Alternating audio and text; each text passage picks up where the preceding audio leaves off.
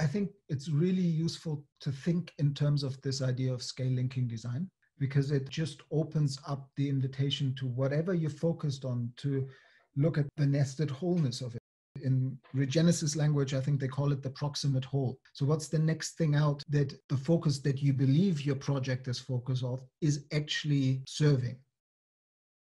To ask one fundamental question every time you do anything is it regenerative? But another way of asking that question is does it contribute to the health and wholeness of that nested whole in which we participate? Is it health generating? I think health is a wonderful standard for quality design because health in itself is scale linking. It's it's a emergent property of the right alignment with life's pattern language in such a way that we create conditions conducive to life. Mm-hmm. So the personal health, family health, community health, bioregional and ecosystems health, and planetary health are fundamentally interlinked and affect each other.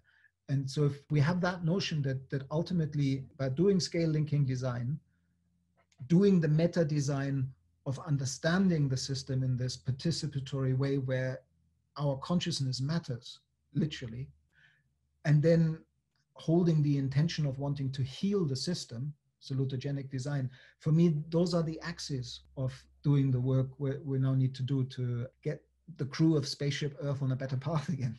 Yeah.